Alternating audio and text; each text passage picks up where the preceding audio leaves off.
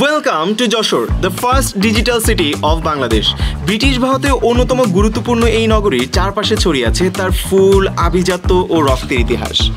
যদিও বিভাগীয় শহর না হওয়ার কারণে আমি যশোরকে ছোটোখাটো একটা ছিমছাম শহর ভেবেছিলাম but I was wrong Jashore আভিজাত্যে ভরপুর একটা শহর এবং তার ছাপ ছড়িয়ে আছে পুরো শহর জুড়েই। So let me introduce the city of elegance Jashore.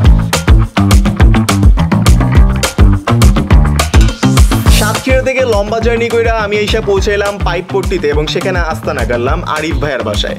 দীর্ঘ তিন বছর ধরে তিনি আমাকে যশোরে দাওয়াত দিলেও এই প্রথমবার তার বাসায় আসার সুযোগ হইল আর নেক্সট দুই, তিন দিন তার বাইকে কইরা আমরা ঘুরে বেড়াইছি যশোরের আনাচে কানাচে।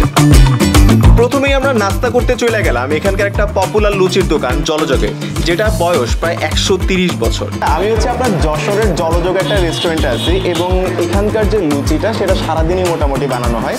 আর এটা হচ্ছে এখানকার খুবই পপুলার একটা লুচি। এটাতে বোধ হয় পাঁচ ফোড়ন দিচ্ছে না? এদিকে একটা হিন্দু হোটেল। হ্যাঁ।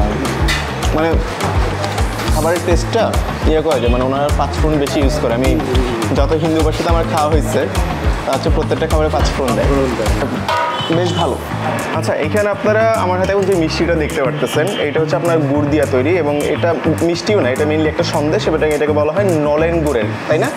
নলেন গুড়। নলেন গুড়ের সন্দেশ বলে এটারে। তো এই এমনি অন্যান্য জায়গাতে এই সন্দেশটা পাওয়া যায় বাট যশোরের যেটা নলেন গুড়ের সন্দেশ, এটা একটু পপুলার তো এটার টেস্টটা কীরকম? আমরা জাস্ট একটু ট্রাই করে দেখি। সন্দেশটা খুবই দারুণ। মানে যারা অ্যাটলিস্ট যশোরে আসবেন তারা এটা ট্রাই করে দেখেন। খুবই ভালো। এরপর আমরা চলে গেলাম পৌরসভার পার্কে। খুবই সাজানো গোছানো একটা পার্ক এবং একটা সময় এখানে পুকুরের পানি থেকে এলাকার মানুষ খাবারের পানির চাহিদা মিটিয়ে থাকতো। আমি এখন যেখানে দাঁড়াইছি এইটা হচ্ছে উনিশশো চোদ্দ সালে এই বিল্ডিংটা করা। এটা হচ্ছে যশোর পৌরসভা দ্যাট মিনস এটা হচ্ছে ব্রিটিশ আমলের তৈরি করা বলা যায়।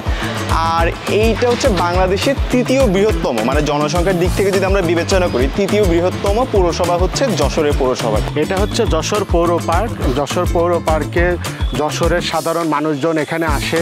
তারা বিভিন্ন ধরনের ব্যায়াম করে শারীরিক চর্চা করে এবং যশোরের বাচ্চারাও এই পার্কে এসে বা তাদের বাবা মাদের সাথে খেলাধুলা করে। এইখানের একটা বিশেষত্ব আমি খেয়াল করলাম সামনে যে আপনার পুকুরটা দেখতেছেন এই পুকুরটা দিয়ে আগে মেইনলি পুরো যশোরে পানি সাপ্লাই দেওয়া হতো এখন তার নানা ধরনের ব্যবস্থা হয়েছে আর এই পার্কটা এখন পর্যন্ত আমার যতগুলো জেলা ঘোরা হয়েছে তার ভিতরে এই পার্কটা সবচেয়ে সুন্দর লাগছে আমার কাছে। আচ্ছা আমার পিছনে দেখতেছেন এটা হচ্ছে যশোরের চারুপীঠ আর্ট রিসার্চ ইনস্টিটিউট এইটার বিশেষত্ব হইল বাংলাদেশে।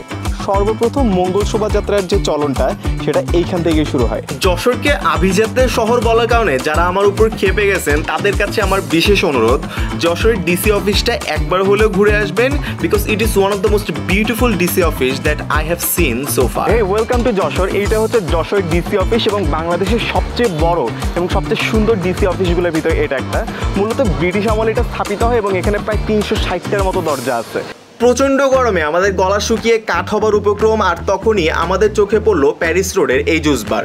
By the way Paris road হইল যশোরের ফাস্টফুড খানার জন্য খুবই পপুলার একটা জায়গা। প্রায় পনেরো বিশ দিন পর আমি ফাইনালি জুসের সন্ধান পাইলাম। সাতক্ষীরাতে খুব একটা ভালো জুস পাই নাই।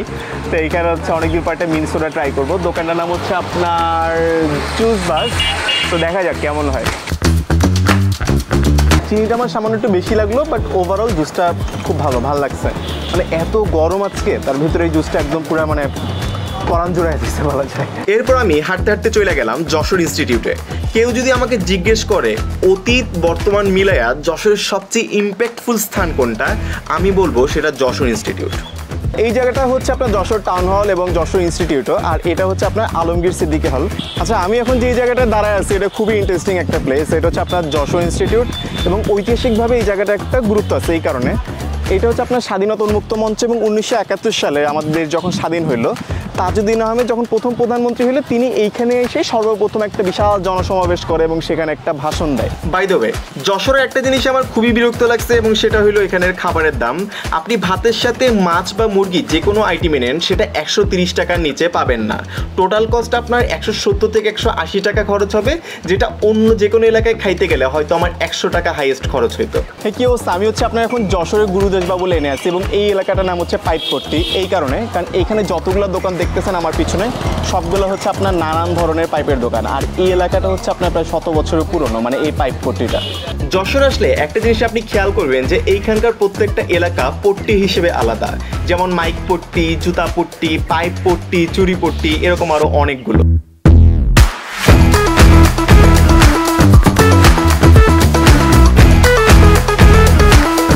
যাকে এরপরে আমরা চলে গেলাম যশোরের লোকাল মার্কেটে গুড়ের খোঁজ করতে।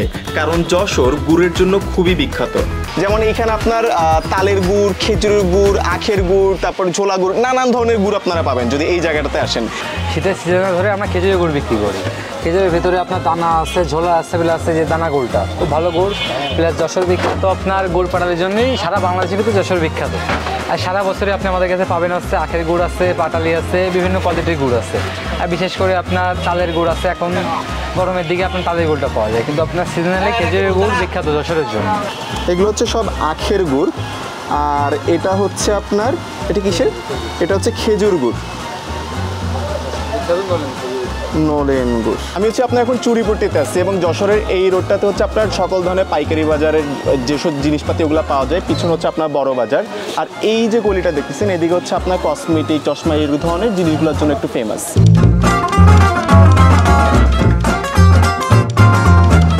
মার্কেট থেকে বিদায় নিয়ে আমরা চলে গেলাম চাচড়ার অতি প্রাচীন শিব মন্দির দেখার জন্য হুইচ ওয়াজ রিয়েলি বিউটিফুল কি অবস্থা? আমি এখন হচ্ছে আপনার চাচড়াতে আছি এবং এটা হচ্ছে আপনার চাচড়া শিব মন্দির এবং এটা হচ্ছে আপনার ষোলোশো ছিয়ানব্বই সালের দিকে মোস্ট স্থাপিত হয় এবং এই মন্দিরটার একটা বিশেষত্ব হচ্ছে, এটা হচ্ছে একটা আটচালা বিশিষ্ট মন্দির। মানে প্রথমে একটা চারটা চালা, তার উপরে আবার আরও চারটা চালা দিয়ে টোটাল একটা আটচালা বিশিষ্ট একটা শিব মন্দির এটা। যশোরের রাস্তাঘাট ঘোরার কারণে অনেক ধরনের দালান কোঠা আমার দেখা হইল। যেই দালানটা আমাকে সবচেয়ে বেশি ইমপ্রেস করছে তা হইল আর আর এফ টার্ক এইখানের প্রতিটা ইটের কালার বিল্ডিং এর স্ট্রাকচার এক ধরনের গথিক ভাইব দিচ্ছিল। মনে হচ্ছিল আমি কোনো ছোটখাটো একটা ক্যাসেলে ঢুকে গেছি। আচ্ছা আমি এখন হচ্ছে আপনার আর আর এফ টার্কে আসছি এটা হচ্ছে মেইনলি বিভিন্ন এনজিও বা কোম্পানি তাদের রেসিডেন্সিয়াল যে সকল ট্রেনিংগুলো দেয়, সেটা হচ্ছে এইখানে করে। তবে আমার দেখা one of the most beautiful places এটা মানে ট্রেনিং বলেন বা আপনার যে কোনো ধরনের প্রোগ্রাম বলেন। এরপর আমরা চলে গেলাম যশোর ইনস্টিটিউটের আলমগীর সিদ্দিকি হলে যশোরের যে সকল জায়গা আমাকে দারুণভাবে নাড়া দিয়েছে, এই জায়গাটা হচ্ছে তার ভিতরে এক নম্বরে। নর্মালি আমাদের দেশের যারা পঞ্চাশ প্লাস বয়স, তারা বাসায় বসে হয় টিভি দেখে, না হয় আল্লাহ রাসুল করে। কিন্তু খেলাধুলা বা বিনোদনের সাথে তাদের কোনো প্রকার সম্পর্ক থাকে না বললেই চলে। But not in Jashore. এখানে প্রতিদিন সন্ধ্যা সাতটা থেকে রাত এগারোটা পর্যন্ত শহরের ম্যাক্সিমাম সিনিয়র সিটিজেন এসে জমা হয়। তারা ক্যারাম খেলে, তাস খেলে, আড্ডা দেয় মানে একটা উৎসব মুখর পরিবেশ। মানুষের চিত্ত যে কখনো বৃদ্ধ হয় না, এ যেন তার জ্বলন্ত এক প্রমাণ। And I love that energy আমি এখন হচ্ছে আপনার আলমগীর সিদ্দিকি হলে আছি এবং এটা হচ্ছে এই যশোর যে ইনস্টিটিউটটা এটা একটা ক্রিয়া বিভাগ। এবং এই জায়গাটা খুবই ইউনিক এই কারণে এখানে আপনারা আমার আশেপাশে যারা দেখতেছেন, সবাই হচ্ছে মোস্ট চল্লিশ কি পঞ্চাশের বেশি বয়স তাদের। তারা ঠিক সন্ধ্যার পরে এখানে আসে, তাস খেলে, তারপর ক্যারাম খেলে। মানে আপনি যদি কফি হাউসের সেই আড্ডাটা গানটা শোনেন, এইখানে হচ্ছে অনেকটা ওই ধরনের ভাইব একটা আছে। আমি অ্যাডভোকেট নুরুল ইসলাম সিদ্দিকী। এই হলে আপনি খেয়াল করে দেখবেন যে এখানে পঞ্চাশ, ষাট ঊর্ধ্ব মানুষরা, যশোরের যশোরের বিশিষ্ট জনেরা এবং চল্লিশ ঊর্ধ্বও তারা এখানে সাতটার পরে, ছটার পরে এখানে আসে, এসে তেনারা এখানে তাদের ক্লান্তিটা দূর করার জন্যে এখানে এসে বিভিন্ন রকম খেলা, ক্যারাম খেলে, দাবা খেলে, চাষ খেলে এইভাবেই তারা এখানে রাত্রি এগারোটা পর্যন্ত সময় অতিবাহিত করে।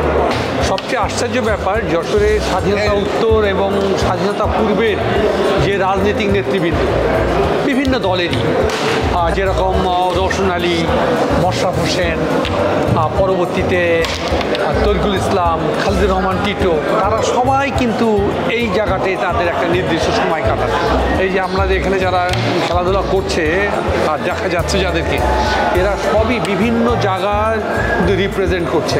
সবই এই শহরেরই মোটামুটি পরিচিত নন ফেস আমাদের যে এক সময়কার জাতীয় জাতীয় দলের তুখোর হচ্ছে ফাস্ট বলার হুম খায়রুজ্জামান বাবু আমাদের যশোরকে রিপ্রেজেন্ট করছে একবার ন্যাশনাল টিমেও খেলেছে।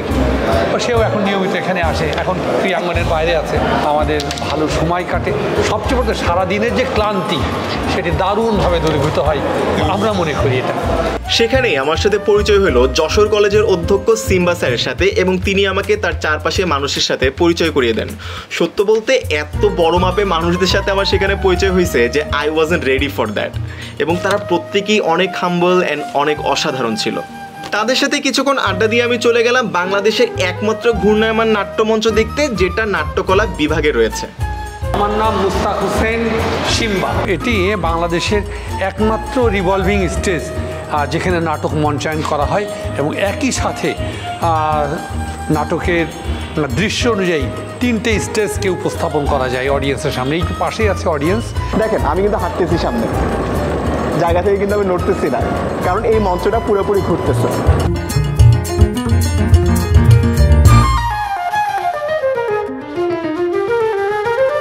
কেউ যদি আমাকে জিজ্ঞেস করে যশোরের সবচেয়ে সুন্দর সময় কোনটা আমি বলব সেটা যশোরের রাত। আমরা প্রতিদিন রাত এগারোটা করে যখন পুরো শহর ঘুরতাম, তখন আমার মাথায় জাস্ট একটা প্রশ্নই ঘুরপাক খাইতো, কেন এই শহরটা বিভাগীয় শহর হলো না? কারণ এর ব্যবসা, ঐতিহ্য, ভৌগোলিক অবস্থান সব মিলিয়ে খুবই দারুণ একটা শহর। এখানে মানুষের আন্তরিকতা আর ফ্রেন্ডলি ভাইবও চোখে পড়ার মতো।